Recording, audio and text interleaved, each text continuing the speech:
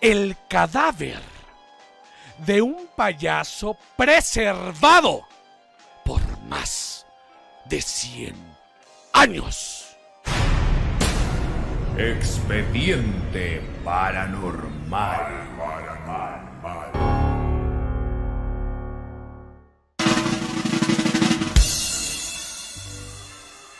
En North Hollywood, Estados Unidos, se encuentra el CIA, el California Institute of Abnormal Arts. O sea, hace el Instituto de Artes Anormales de California. Un lugar perfecto para disfrutar de lo mejor de lo underground.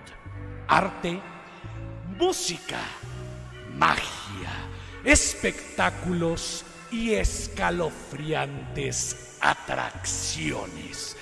Y con escalofriantes atracciones me refiero a, por ejemplo, el cuerpo embalsamado y perfectamente preservado del payaso Achille Chatouille.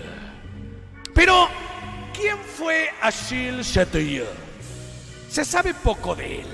Su nombre en francés quiere decir algo así como sensible a las cosquillas. Fue un artista circense estadounidense que murió en el año 1912, aparentemente por nefritis crónica. Tras su muerte, y siguiendo sus últimos deseos, la familia mandó a embalsamar su cuerpo, lo maquilló y lo vistió con su traje favorito, sí, aquel que usó en el año 1906 en un desfile. Inicialmente la familia exhibía el cuerpo de Achille en un rancho donde tenían un circo. Más adelante llegaría al Instituto de Artes Anormales de California, donde a la fecha es exhibido a través del cristal de un ataúd herméticamente sellado.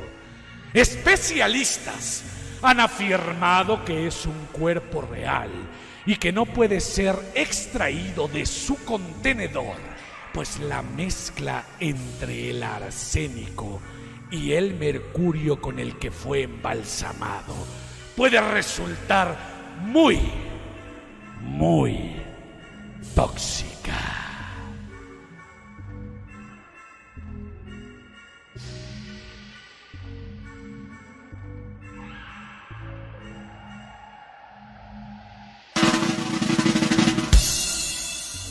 a shield shaped to you.